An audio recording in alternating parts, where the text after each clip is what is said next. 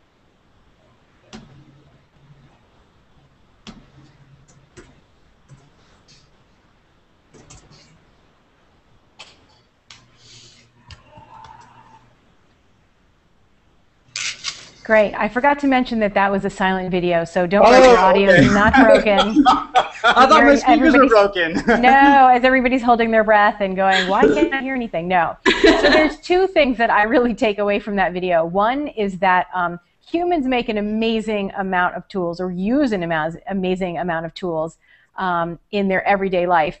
And another thing is one thing that makes us unique is that we use tools to make other tools. So those are two of the many unique features of um, human-made technology. That technology really started very simply um, from basically taking a rock, usually a round rock, a hammer stone, um, striking a flake off of a stone core. So you want to look for a core that has particular features, that has um, particular angles, and then you get if you do that, you get a sharp flake. And that flake, and potentially also that core, um, are some of the earliest tools, and these are replicas of some of the earliest tools in the world um, known from northern Kenya.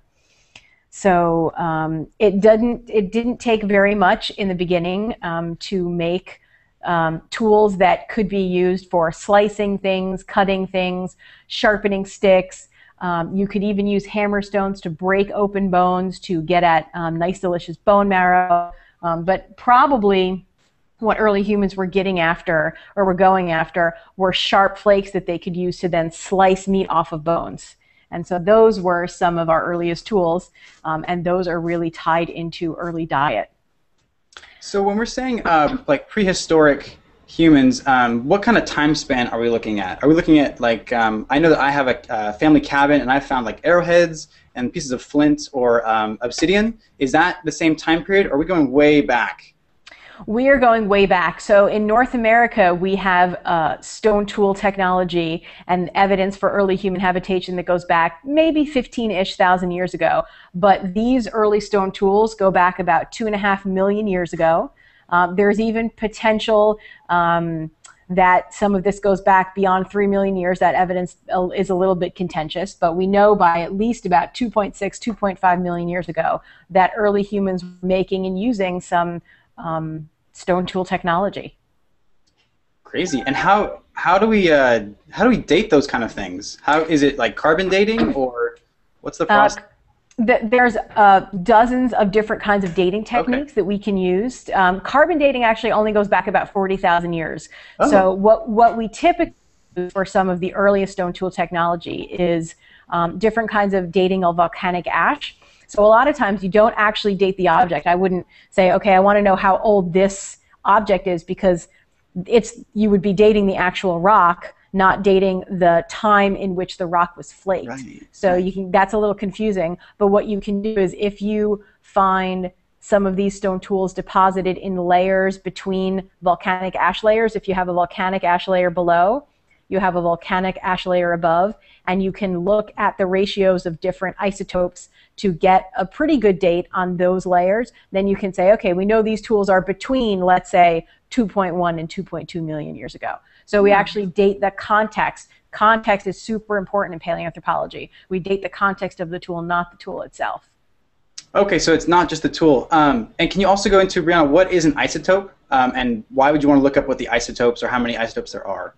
Sure. Actually, you know, one of the things that um, I'm going to talk about that, that um, I will talk about is, um, uh, um, uh, I, sorry, isotopes are basically different uh, elements decay into some into other elements at different rates. So okay. you can get um, an isotope of a particular element that, that decays into, you can get uranium decaying, sorry, potassium decaying into uranium, um, and that decay happens at different rates. And when those uh, isotopes, when those elements change, that change happens at particular rates. So it's really, it's kind of a complicated chemical um, process and interaction.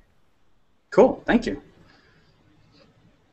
So, uh, what kind of technologies do you also use um, just in your research kind of on a daily basis? I know you do a lot of um, excavation, so you do a lot of field research in Kenya and Tanzania, um, and then you also have, I'm guessing, lab procedures. Um, are there interesting new kind of tools that you use in the field and back in the lab? Yeah, so I'll talk a little bit about what I use personally in my research, and then I'll talk a little bit more about some, what some of my colleagues use. So I use some pretty um, really exciting, sophisticated technology like um, sh sharp, pointy objects to be able to dig things out of the ground. Um, very basic tools, probably not, you know, I could probably use early stone tools to actually dig other stone tools out of the ground. Um, but I use anything from awls to dental picks if we're digging up things that are really particularly um, uh, friable or uh, breakable um, or fragile. Brushes in order to brush away sediment as we're doing excavations, um, trowels that we can also use to scrape away dirt as we're doing excavations. So there's a whole variety of tools that we use on excavations. And I, I have to give a plug to a tool that most people don't think about, the field notebook. Um, so oh. one of the things that's really important is to actually be actually document everything that we see. So we record everything, and I'll, I'll actually give you a little sample of this close up. Um, we record everything that we excavate in three-dimensional coordinates. So we use um, some sophisticated, more sophisticated than paintbrushes. We use sophisticated um, um, laser transit technology in order to plot each object in three dimension so that when we pull it out of the ground, we know exactly where it came from because as I mentioned, that context is key. If you're dating different volcanic ashes or um, using other kinds of dating techniques, it's really important to know exactly where an object came from to figure out how old it is. Um, when I'm in the lab, mostly what I use is magnifying technology.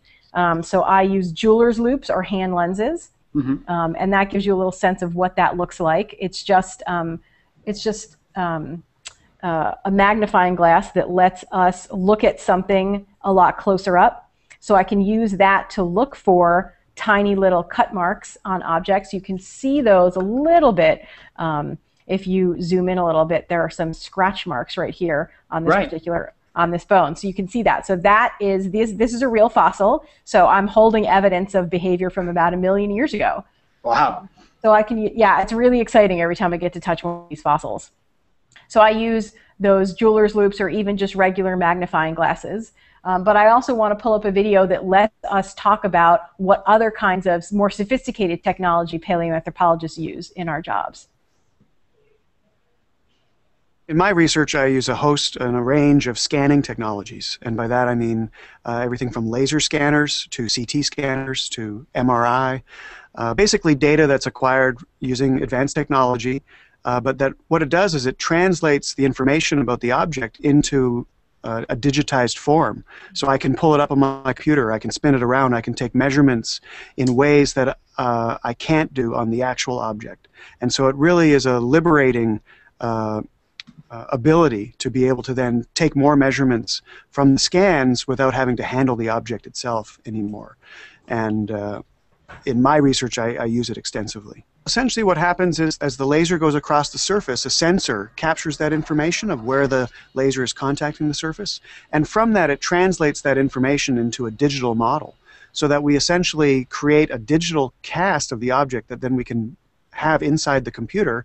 And when that object has to go back away, or even in some cases back in the ground, we still have a full three dimensional copy of it. And uh, that's a phenomenal tool for research and education. We actually have a scanning electron microscope, or SEM, and so we're able to uh, prepare the specimens, the bones that we want to look at, or the edges of stone tools that we want to look at, and we're able to then take the, the molds and casts of those and the powerful scanning electron microscope sends electron beams over the edges of those things, over the surfaces, and able to create just these beautiful images at high microscopic power.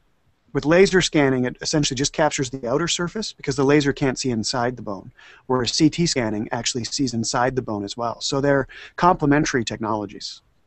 Paleoanthropologists, we use whatever is available to us, and whether that happens to be a dental pick or your bare hands at times to the most expensive uh, technological equipment out there. Anything that can help address a question uh, is useful. And uh, if it, especially if it can help address a question in a new and novel way, then you can bet uh, uh, an anthropologist is going to try and get their hands on it to do it.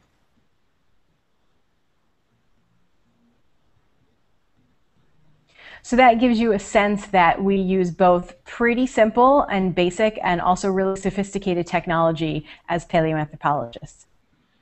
Yeah, that's crazy. I can't believe you guys use like laser scanners uh, to make those 3D models. Um, I actually have a similar one. Um, we have a 3D printer here at, uh, at Make, and uh, if you go on, I think it's the website Thingiverse, someone's actually scanned um, I think like a similar skull that you have there. Those are those are real, actually, aren't they, Brianna? These are casts. So the real objects. Yep. So these are casts. Um, but we, uh, we also use 3D scanning and printing to make uh, replicas of objects. Yeah, it's crazy how much detail you can get. Um, I don't know if you can see in the camera, but you have all of these kind of cavities um, that show up, um, and then we print it upside down, obviously, to, to make it work. Um, but yeah, that's a lot of detail you can get just from like an actual skull if you have it already on hand. Exactly. So Lee, um, what sort of ideas have you had to think of or come up with um, for tools when writing for MacGyver and just you know in your life? Um, well, Brianna, obviously some of the simpler stuff, some yeah, laser thought, scanning, but actually, I thought one of the most interesting things in that last video was was when one of those gentlemen said, "The way this starts is by trying to ask a new question."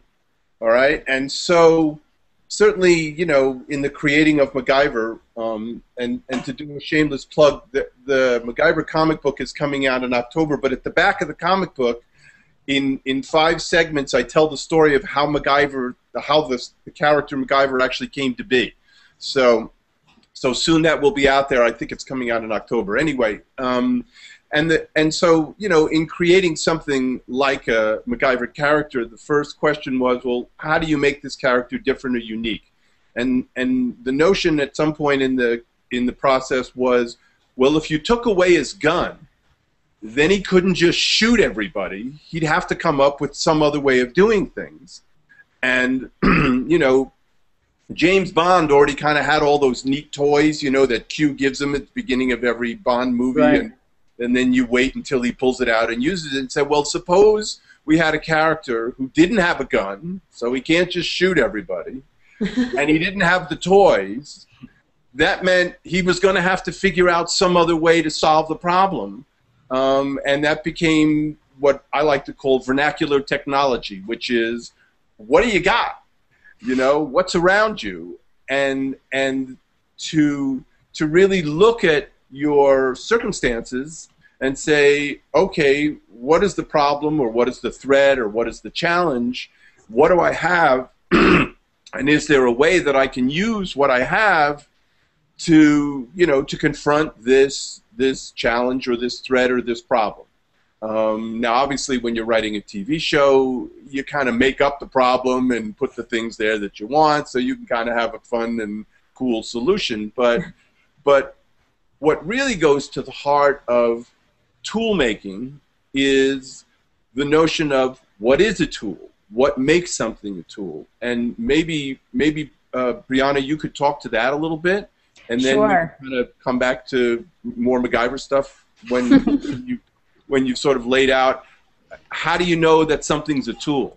Sure, absolutely. And actually, we have a great video, again, silent, that shows some of the differences between um, just broken rocks and tools. And then I'll get into a little bit of more about how we tell.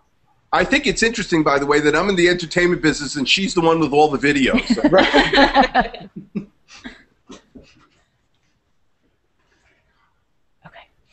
Um, so you can see one of the most important things about um, identifying when a t- when you find a tool in prehistoric context is you want to look for um, well you can watch Dr. John Shea um, as he's doing some flint knapping, but you want to look for um, those flake scars you can see he's about to bring a hammerstone down um, onto the core and when he removes the flake you see a scar and so I'll show you some of those after the video's over on some of the, the real stone tools we have here. But another thing that's really important that you saw in the beginning of that video is that there are many stone tools in one place. So a lot of times we will have people come to us and say, oh, I think I found this stone tool in my backyard, or I think I found this stone tool out in this riverbed. And we say, well, there's a lot of other rolled cobbles around, or there's a lot of other broken rocks around. And what you really want to look for is not only the shape, as Dr. Shea is pointing out in this video, of a particular tool, but you want to look for um, a whole multiple, uh, a whole host of stone tools that you find in the same place at the same time. And that's a really big clue that what you're looking at is a stone tool and not just a broken rock.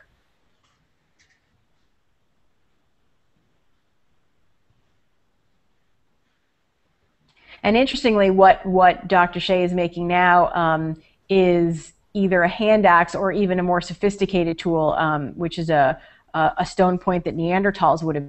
There's a good shot of lots and lots of stone tools in one place. So it's really tough. At the dawn of technology, it's a lot harder to see flake scars um, on really small objects where on small objects and also objects that look kind of like broken rock. Sometimes um, in the, for the earliest stone tools, they only had flakes taken off of one side of the core. So you may get one part of the core, oh, that just looks like a broken rolled cobble. But on the other side of the core, maybe one or two sides, you get these flake scars taken off. Once you get to slightly more sophisticated stone tools, then you can see flake scars much easier. So you can mm-hmm. see on this hand axe, this is a real hand axe, it's about a million years old. Um, on this hand axe, you can see these flake scars, and they're often overlapping flake scars. So there was one flake taken off, then another flake taken off, then another flake taken off. So the other thing that you start to see is you really start to see tools being shaped much more finely. This is the first innovation in stone tool technology. So these are this is a hand axe, and a hand axe is a teardrop shaped rock that's been flaked on two sides.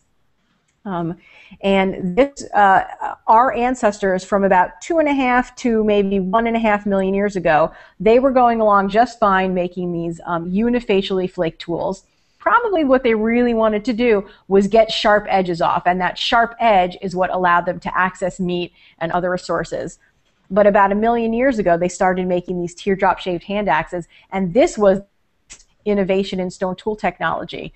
Interestingly, we're not entirely sure what these hand axes were used for.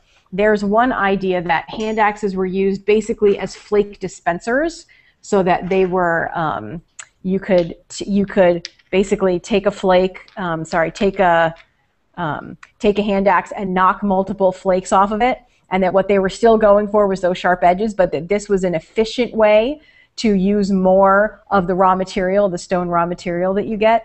Uh, it's very possible, and this is an experimentally made hand axe. It's also possible that it was the hand axe itself that was the tool. So you can use the sharp edge of a hand axe for scraping. You can use it for use it for um, chopping wood. You can potentially use it for breaking open um, a nice juicy leg bone of an animal to get at marrow, as you saw with that other video. So um, I like to think of these Paleolithic um, hand axes as really um, uh, sort of the first multi-purpose tools that humans ever used. You were kind enough not to mention that you might also be able to use it as a weapon to whack your enemy over the head so you can steal his much prettier woman than the woman you happen to have, right?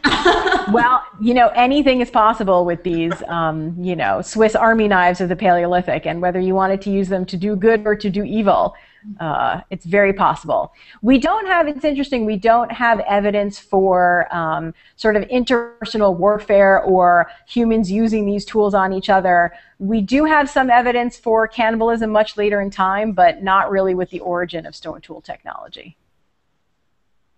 And so, do stone tool technology go hand in hand with fire and cooking meat? I know uh, some of the research you were doing involves the, the diet of the prehistoric humans, and a lot of it has to do with meat and eating meat and, and cutting the meat off the bone. Um, did we always cook our meat? That, that's a really good question. So, as I mentioned before, the origin of stone tool technology, making of stone tools, goes back about 2.5, 2.6 million years, maybe even longer. But the earliest evidence we have for the controlled use of fire only goes back about 800,000 years ago. So either our ancestors butchered and ate raw meat for an awfully long time, or we simply haven't found the evidence for the controlled use of fire that goes back as early as our evidence for making stone tools and eating meat. Yum. And how has the tools kind of progressed? how have the tools kind of progressed? Um, you have the hand axe as the example. Was was there a later innovation, or does is that the, the that's the pinnacle of stone tools? no, thankfully, not the pinnacle of stone tools. Um, so, as with um, cell phones, is a great example of modern tools. Um, with early tools, uh, tools got smaller and smaller. So, after hand axes, you have points. Um, so, these are tools that were uh, kind of also shaped like hand axes, but they were much smaller. They were much more finely shaped. Uh, people began to use nicer raw material. They started walking longer distances to get finer grained raw material, which you can use to make into really um, and really uh, well-shaped objects. And then the pinnacle of stone tool technology really before you get to um, modern times when we use a whole lot of different metal and other kinds of materials to make stone tools are very small blades. Um, uh, the definition of a blade is it's a stone tool that is twice as, at least twice as long as it is wide. These were probably, actually most likely hafted, so they were tied onto some kind of a stick. Um, that's probably not the best, but they were tied onto some kind of a stick. Um, they were hafted using some kind of sticky substance. They may have also been uh, literally tied on there. This is bow and arrow technology. That doesn't happen until maybe um, within you know 20-ish thousand years ago. So um, uh, another thing that we find in tool technology, I can't say stone tool technology, is that we have found things like thrusting spears and throwing spears back in the archaeological record maybe about 300, 400,000 years ago. Um, unfortunately, wood doesn't preserve nearly as well as stone. That's why most of the evidence that we have for tool technology is in the form of stone.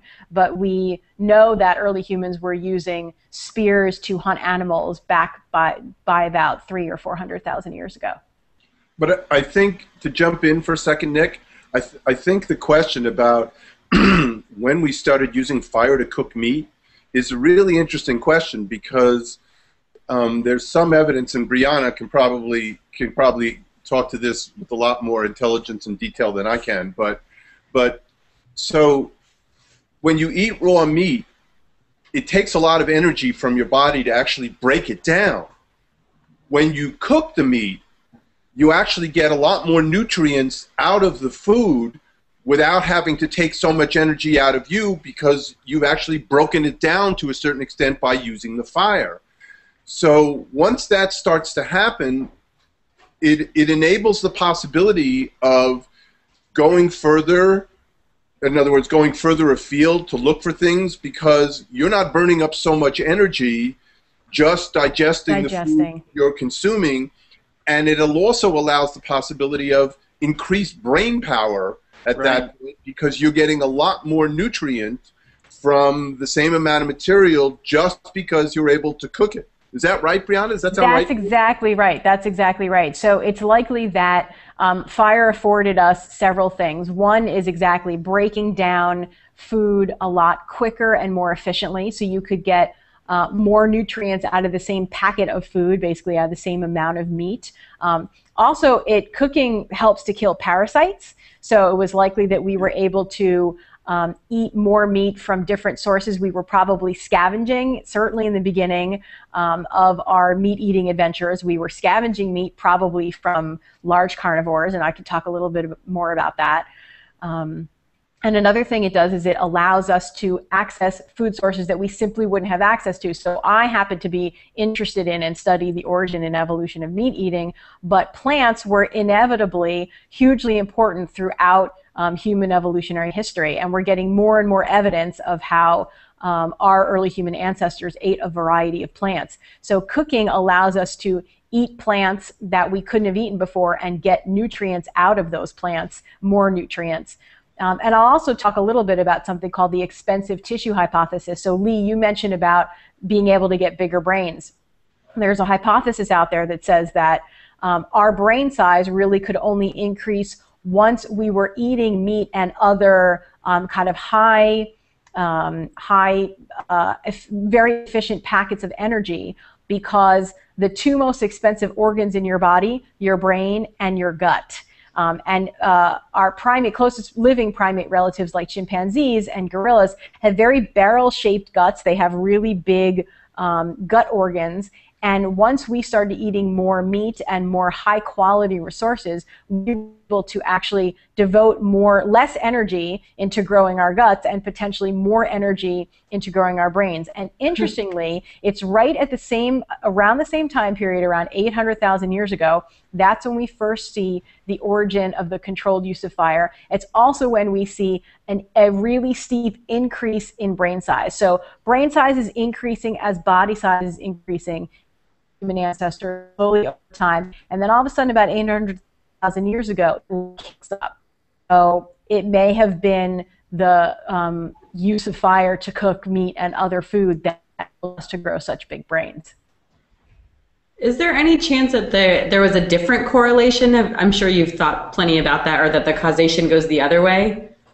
Absolutely, it's very possible that um, the causation goes the other way, and it's we can a lot of times in the past it's a little frustrating, but but also exciting because it helps you an- ask new research questions. You can look at correlation, but we can't tell which way the causation goes. So mm-hmm. absolutely, that's possible. So to, just to clarify what you're saying, it may have been that the brain got big enough to say, "Hey, you know, we should have fire and start cooking things," as opposed well, exactly. to we started cooking things because we had fire and the brain got bigger, right? That's what that you were very saying. well could be. It very well could be that you know some of the the and, and we have to think about things always in the, in the sense of evolutionary fitness. So is a behavior going to become fixed because it helps us reproduce and produce more offspring? So if it was our ancestors that started using fire, they were able to maybe reproduce quicker. They were able to attract more mates, and for whatever reason, that behavior really stuck also, who doesn't like to sit around a fire at night? I mean, it's a whole lot more interesting well, than just sitting around in the dark, you know? That's exactly right. And the other thing that fires probably afforded us, not only to um, uh, uh, kind of a social aspect to be able to hang out and like we're doing now uh, and sit around and, and talk about tell our, our awesome hunting stories and the, the things that we conquered that day um, but fires probably afforded us uh, a way to be able to ward off predators and a way to be able to keep warm at night. So it's also not until after we see people controlling fire that we that our ancestors moved into much colder environments and higher latitudes. Hmm. So Briana, you also do uh, sort of like field research, right, in I different do. parts of the world. I do. So mostly I work in Eastern Africa, in Kenya and Tanzania. I've done some work in Indonesia as well and in South Africa. And do you always bring the same set of tools, or is it more like a camping expedition? Uh, you have your right. own campfires at night, or how does that work? we do actually sometimes sit around the campfire at night. So um, if you can bring up pictures, let's start with um, some tent pictures. Um, so when I go into the field in the summers, I am living in a tent. Um, this is my home, away from home, for usually two to three months in the summer. Oh, wow. um, you can see it's a pretty nice tent. I can stand up in it. It's a nice canvas tent. It um, yeah. reflects the heat very well. Um, so there's another picture of me inside the tent. Uh, there's it's even big enough for me to have tables, um, so wow. I can do some work there. And this is the beautiful sunset at our excavations in southern Kenya at Olorgesailie and um, that's another view. And you can see i'm even i have a laptop and i'll talk a little bit about how we possibly are able to use laptops in the field because those tools are very important when we're recording a lot of data in a short amount of time. Um, let's bring up the solar panels and solar battery pictures. So 21st century tools are really important to us like um, digital cameras like laptops and other things that are battery powered. So we are able to use these solar panels um, to collect energy from the sun. And on the equator, um, in uh, there's a lot of sun, a lot more than there is here, although DC's been awfully hot and humid, and we've been getting a lot of sun lately. So we use solar panels in order to collect energy from the sun. It goes to a um, solar battery, and then we can invert that power, exactly, we can invert that power and then um, use it to charge our electronics. And so it's really helpful in order to be able to use our those kinds of tools. Um, and I'll talk a little bit more about some of the fun of being out, um, being a prehistoric archaeologist. Let's bring up the bathroom series of pictures. This is a question that I get so often. Um, how do you go to the bathroom in the field? So we have some long drops. You can go to the next one. And you, if you were oh, to open our bathroom door, you can see inside, and you can go to the next one. Um, and you can see we have a lovely toilet seat. We have a lot of toilet paper. you can go to the next picture. um, and when you're finished doing your business in the bathroom, you take sand and ash that we have left over from our fire, uh, put it down our long drop. Um, the most important tool we have in our bathroom adventures is our bathroom flag. So if, especially in the middle of the night, or if um, you know you're waiting in line to go to the bathroom, you need to know if someone's in there. You put the flag up if someone's in the bathroom. You must remember to put the flag down if you leave the bathroom. If you're the person that forgets and leaves the flag up, you are going to be the most unpopular person in camp. Very cool. And so, do you set up camp for an extended period of time, or is it you set up camp for a couple days and you move to a new site, uh, set up camp, move site? You know, how does that work? We do mostly we do the former. So mostly it's we set up camp at the same spot every year and we stay there for several weeks, usually between six and eight weeks. Um, but sometimes if we're doing excavations that are too far away to drive to, we could set up a fly camp. So we'll take just basic um, camping equipment, maybe a little bit of kitchen equipment, um, and we can set up camp for a couple days at a time. But usually it takes so much effort to get all of your tools, all of your personnel, all of your people, and all of your equipment out there that it makes sense to really just try to camp central to where you're doing your excavations. And have there been, um, kind of with the stone tools, have you found yourself using your tools the last couple of years to do your research, or has it really just stuck to, you know, the, the brush and the pick um, for just the basics? Uh, you know, the answer would be both. So we from the brush and the pick and the you know dental pick and using um, technology, laser transits, which I mentioned before, which enable us to plot specimens in three dimensions. Um, those came out maybe two decades ago or so, and so we've been using those for about the past 15 plus years.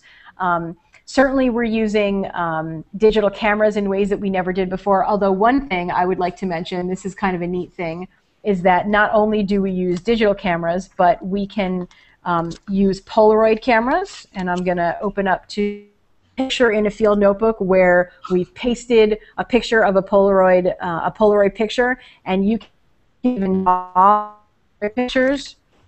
So a lot of times you can, um, actually I'll put this down here, might be easier to see.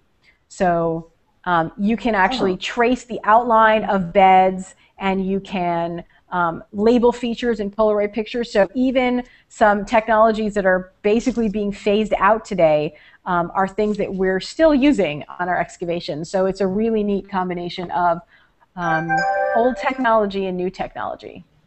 Briana, I have a question that, that um, came up earlier. I think it was from one of the first videos where they were talking about the 3D scanning of objects that you might sometimes have to replace into the ground. Under what circumstances would you ever do that? Um, objects that we would have to place into the ground. I don't remember the context of that in the video, so I'm actually not sure what oh, that was, he was referring He was to. talking about the reasons one would 3D scan one of the skulls or an artifact that you found, and it's so you can have a copy of it, or sometimes it has to go back into the ground. Oh, okay. And we were wondering. Oh, why? so what's the story of that? So um, there is a very significant repatriation effort, as it's called, especially in North America, where there are um, uh, groups of people who lay claim to um, skeletal material that they say that these are our ancestors. Um, this happens a lot out of Native American tribes. And so sometimes museums like the Smithsonian are actually giving those skeletal materials back to people, and the, and the, and they say we want to bury these ancestors of ours. So uh, we that uh, 3D scanning is a way that we can actually keep the scientific information from an object while actually letting the um, while giving the object back to um, people who have laid claim to it. Oh, that's really interesting. It's not always finders keepers. it's not always finders keepers. That's absolutely right. Well, and it's interesting. The reason that I have my um, friends here who are casts or replicas of early human skulls is because the people who found them don't get to keep them. The countries where they are found get to keep them. So um, my friends Australopithecus, Africanus, Homo erectus, Homo neanderthalensis are actually um, in the countries of their origin. So that's why we don't have the actual fossils here.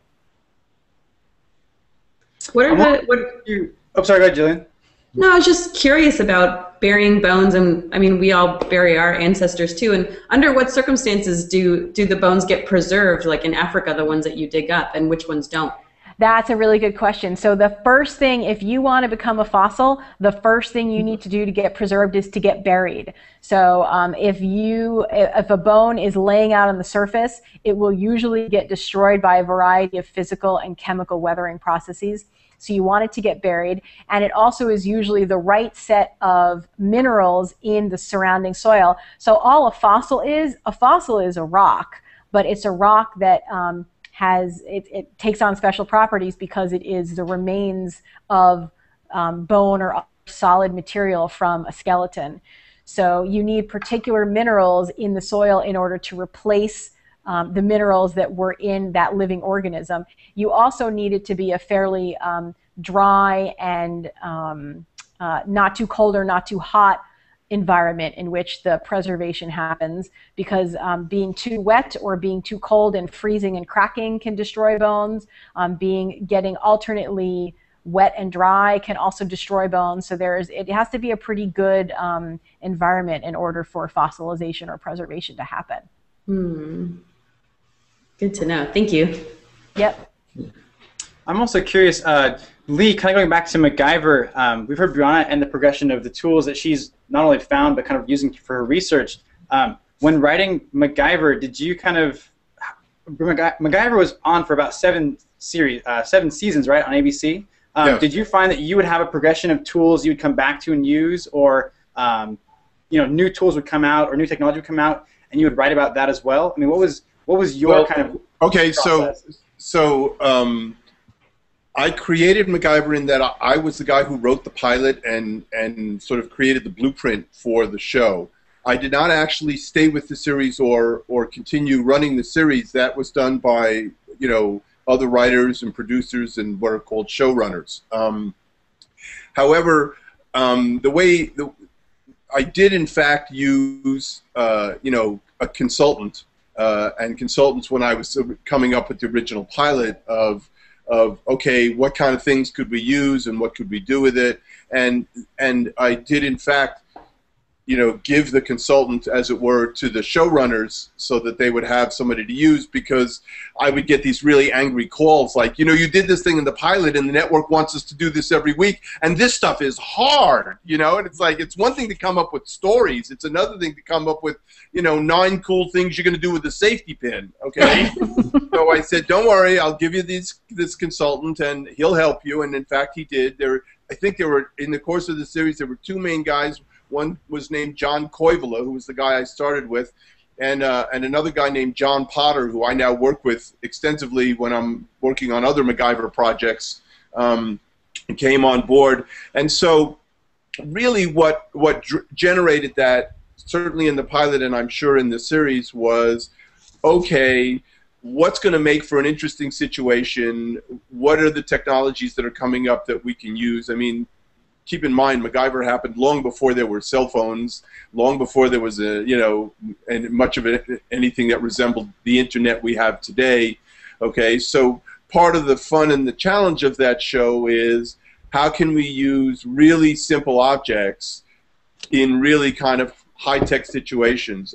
In fact, in the pilot, he's in this, you know, he's in this super high-tech facility that's kind of gone haywire and there are people trapped down in the bottom of it by an explosion. And he's got to go down you know work his way down through this kind of multi-leveled facility. And of course none of the technology that made this thing so whiz bang is available to him. In fact in a lot of cases he's got to use kind of really dumb technology to overcome you know the super technology because it doesn't want to let him get through. Um, so it was kind of the fun of saying okay let's let's look at the most high-end technology we can imagine and now put a guy in there and he, not only can he use any of it he has to kind of get around it by using you know uh, I mean in one case he, you know he's got to use a water hose uh, a fire hose to create pressure to move something you know off something else so he can get through or you know it's like that. And it's figured that would kind of be the fun. So it was always about sort of playing off against the modern technology. Obviously, in all the new MacGyver stuff that that is coming, going to be coming out over the next couple of years, we've updated it to incorporate, you know, cell phones and computers and the internet and all that stuff. But but um, but that relationship of of you know who we are to our technology is a really key relationship. And in fact, even though it looks like it's stone tools and raw meat, really that's what Briana has been talking about was what's the relationship between us and the stuff around us and at what point does it become tools or technology you know? And and at the end of the day the real tool the ultimate tool is our brain. Every tool that's out there, whether it's a hammer or a saw or a stone tool, really comes about because somebody of mind looks at that and says, wait a minute, I can use this somehow. I want to get inside those bones. If I pick up this rock, I can smash open the bones, I can get inside the bones. But it starts with the mindset of a thought of saying, how do I get inside the bone? It's asking the right question and then saying, how do I answer that question? So the notion of tool making being, you know, we know now it's obviously not just humans because there are animals that come up with tools. I think one of the things that makes us so different is we have this clearly larger brain. And the more our brain sort of pushes at these questions that face us, the more we have to kind of invent new sorts of tools. And tools aren't necessarily just physical objects. There are lots of different kinds of tools. There are psychological tools. There are emotional tools. There are social tools. And these things don't have matter, you know, but that doesn't make them any less tools. they can still be used in a situation if you say, I've got this problem, I've got this situation, I've got this issue, and I want to get from here to there and you start looking around and you're saying, well, what could I use to get there? I'll tell you a short story, okay? So I was in middle school. I had just transferred into a new school. I was kind of a stranger. Nobody really liked me. Nobody knew me. I was an outcast. I was alone, okay? And it was kind of miserable because I had no friends. My parents, for some reason, I think, bought a guitar for me because they think this kid needs something to do. Sure. They tried to give me classical guitar lessons. That never really got anywhere. But eventually I said, you know what? I'm not spending my time with other people. I'm mostly by myself. Here's this guitar. I might as well learn to play the damn thing, right? So I taught myself how to play the guitar. And I would play the guitar for hours a day because there was nothing else to do. I'd go to school, I'd come home, I'd watch some TV. This was long before there were such things as video games or the internet. I play the guitar. I live close to the beach. One day, I'm down at the beach playing my guitar because that's what I would do. And a girl from my school wanders by, and she sits down and she listens to me play the guitar, and she says, "You know, you're pretty good at playing the guitar." I said, "Well, I got nothing else to do, basically." the next thing I know, they start inviting me to parties. Why? Because they want me to bring my guitar and play the guitar. And by the way, there's nothing nothing fuels romance better than music, particularly playing the guitar for somebody. So within like a year, I had more friends than I knew what to do with. I was the most popular kid around, and I had girls coming out of you know every door. Why? Because I looked at the situation and said, so long as I'm alone and I'm isolated, I might as well do something with this time and do something that I love, and you do something that love, and guess what? Turns out other people are probably going to find you.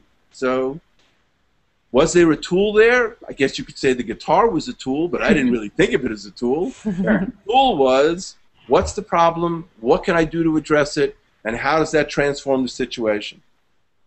Well, so Briana, what tools did you start with uh, into paleoanthropology? I mean, were you just like an outdoorsy kid and you loved to go camping and you found fossils in your backyard, or how did how did you start with that? None of any of that. Interestingly, I was not a particularly outdoorsy kid. Um, I had never been camping before I went to do my first field work, and that was a really harrowing experience. I didn't know how to set up a tent. I didn't know how to do any of this stuff. Um, but I found I really fell in love with the field work and the outdoors and excavations and discovery and adventure when I first got to experience it. But it wasn't, again, it wasn't until college. It wasn't until I got to, I first set foot on the African continent that I said, oh my gosh, this is the place where I want to be and this is where I want to do my work and do my research and build my career. Um, and I love what Lee was talking about before. It's really like it's that spirit of innovation that is um, what makes humans really unique as far as tool making and, and just about everything else that we do. Briana, what advice would you give for kids who are watching that would be interested in getting into paleoanthropology or just anthropology? Well, I would say, um, you know, read up on it is a great thing to do. Seek out internships in museums. Um, see if you can contact local professors. Um, another thing you can do if you're particularly interested, like I am, in trying to figure out what early humans were doing when they were first um, eating meat, you can bring up, um, let's see. Um, oh, if you bring up Car and Dead Zebra, I can show you a little bit. That sounds like a fun picture. Um, so, so what I did for part of my dissertation research is I um, was working on a game reserve in Kenya where I was looking for remains that um, lions and other animals had eaten. And you can bring up the picture that is um, lion eating zebra. Um, so I would go to kills after lions had um, eaten particular animals. Um, I would put them in the back of my truck, as you saw, and then I would clean them off and I would study the tooth marks that are made on those bones. Well, you don't have to go to Africa and follow lions around to do that. You can do that with, um, you can eat ribs. Um, you can, you know, take get barbecue and you can look at what human tooth marks look like. You can feed bones to your animals, to your dogs. I, I don't want anybody to have choking dogs after watching this, um, but you can um, do some some things with your own pets or with other animals, looking at how dogs gnaw on bones. Um, and so, and you can take stone, sharp stone, you can take metal knives, and you can make marks on bones. And you can get a sense of just how scientists would make a comparative collection in order to then look at the fossil record and try to figure out early human behavior. And should you just go onto some land or property and start digging around for fossils, or is there an actual, is there a protocol for doing this kind of thing? that you should not go onto land or property and start okay. digging around for fossils. No, I'm glad I'm glad you asked because you know being a, a sort of an archaeological or, or uh, an amateur archaeologist or an archaeology enthusiast, you would think that oh I just want to go start looking for stuff. No, there's definitely um, you would have to look into your state archaeologist office, look for getting permits. Um, and most of the time, what you would really want to do is team up with a professional archaeologist um, in order to do something like that. I'm glad you asked that question.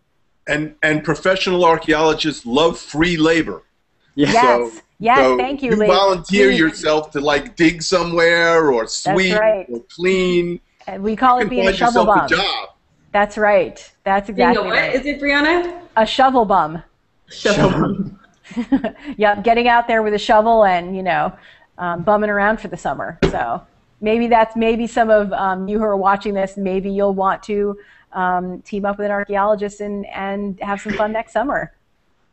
And is that something that you could find out probably like a local college or just kind of how would if you want to find someone like that how would you network yep so i would go on to the archaeological institute of america aia website um, look for your state archaeologist. You could start okay. there. You can also look for the Society for American Archaeology has um, information about education and outreach and volunteer and other kinds of opportunities.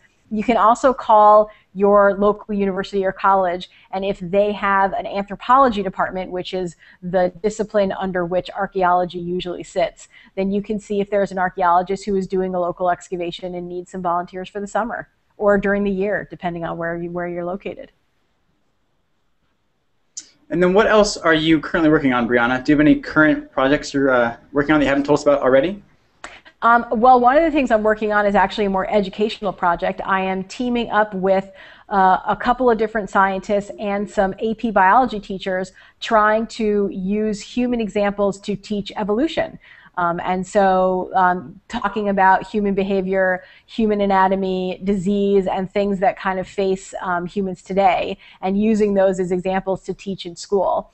Um, and as far as my science research projects, um, I'm really continuing to look at some of the um, carnivore chewed and cut mark bones and trying to refine our idea of who got there first. Was it um, early humans that got to some of these animals first in the fossil record, or was it carnivores that got there first and we were just basically um, getting at their scraps?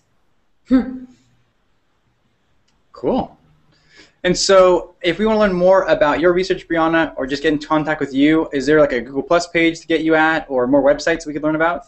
Yeah, if you go to humanorigins.si.edu, um, you can find me under the Human Origins Program team, um, and you can. Um, there's that's just a taste of some of the research I'm doing. I'm also working at a, um, a modern human footprint site, an early modern human footprint site in, in Tanzania. I'm continuing to work at um, Olorgesailie, the Smithsonian research site in southern Kenya. But yeah, if you go to humanorigins.si.edu, um, you can find me there. Awesome. And Lee, how about you? What are you working on currently, and uh, where can we find more information out? Uh, okay, so um, I'm actually, believe it or not, uh, spending a fair amount of my time now reinvigorating the whole MacGyver character. Mm-hmm. So he's going to come back uh, first in a in a comic book series, a graphic novel that'll be out uh, starting in October. Uh, we're working on a big budget feature with New Line Cinema that will hopefully be out sometime next year.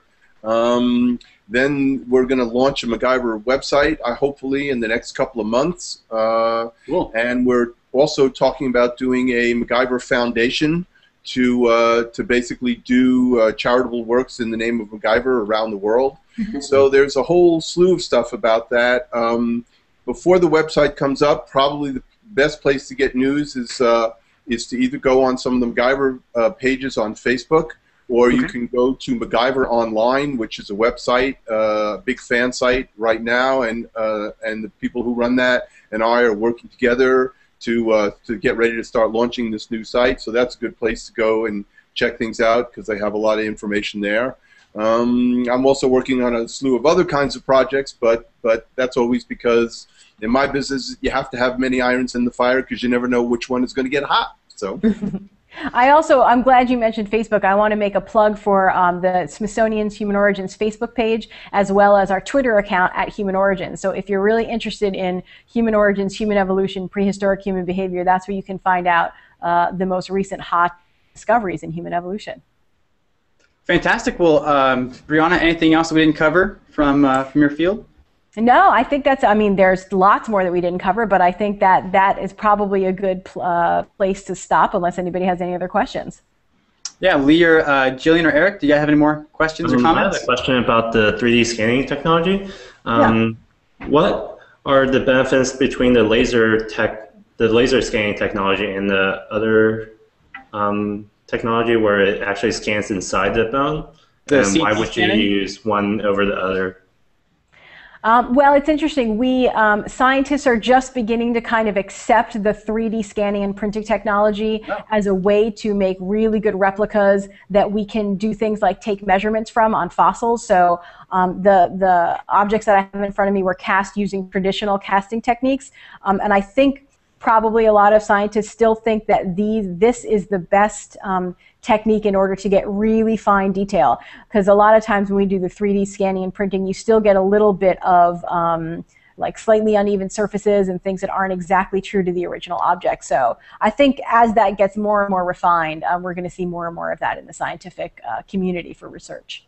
But I, I think I think what he was fundamentally asking was the laser scanning stuff pretty much scans the surface of things, mm-hmm. and the CT scans basically look inside. So it's the difference if you go to the doctor, it's the difference between the doctor looking at you from the outside and saying, well, it looks like you might have this problem, but if we do x-rays or MRIs or CT scans, then we get this whole slew of additional information because we can actually see inside the body with these technologies and we get, you know, and then we can go, oh, I thought it was this, but it's really that because the scan tells tells me more than I can see with the naked eye.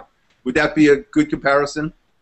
I think that's absolutely right. So being able to, I mean, obviously our our skulls and other 3D uh, three dimensional objects that aren't filled in in the middle, um, you can really get at those with um, CT scanning and other technologies where you can look at intricacies of things that are hollow. Very cool. Well, uh, thank you again, Lee, uh, creator of MacGyver. Uh, also, I think you didn't mention, but um, you also wrote a column for us uh, for Make Magazine, didn't you? Yes, I, I guess for about four or five years I would write the uh, the makeshift the makeshift column, right, where you would kind of be given a challenge and and and here's the situation and here's what you have to work with, and then like MacGyver, you kind of had to come up with an answer. But I think if I have a parting comment for everybody who might be watching this, either now or in the future, you are the best tool there is. And if you're in a situation, whether it's a physical situation or a psychological situation or emotional situation, you have tools at your disposal, and the first and best tool is you. And you have to look at the situation and say, what's wrong with this situation? Where do I really want to be? And what do I need from within myself to get to that place? Because chances are, if you sit down and you take the time to think this through, there's almost always an answer. Awesome. Well, well, thank you, Lee, so much uh, for joining us, and thank you, Briana um, from the Smithsonian, uh, paleoanthropologist, and as always, Jillian and Eric. Thank you for joining us in the Hangout today. Thanks so much. Uh, this was really fun. That was a good one. Um, we will be having the Junior Counselor Hangout today, so if you haven't signed up already, uh, you want to leave us a comment under this post, and we'll add you to our circles, and we'll be having uh, a Junior Counselor Hangout about half an hour from now. And I'd also like to plug uh, tomorrow for Saturday, we're going to have a special event with Adam Savage. Uh, we're going to be going to his workshop, and I'll be interviewing Adam, uh, hanging out with him for a while, and that'll be at 10 a.m. Uh, Pacific Standard Time. So uh, tune in for that. We'll have some posts and some reminders. Uh, but again, thank you everyone so much uh, for being here today and hanging out, and we will look forward to talking to you later. So thank you. Thank Bye-bye. you. Take care. Bye.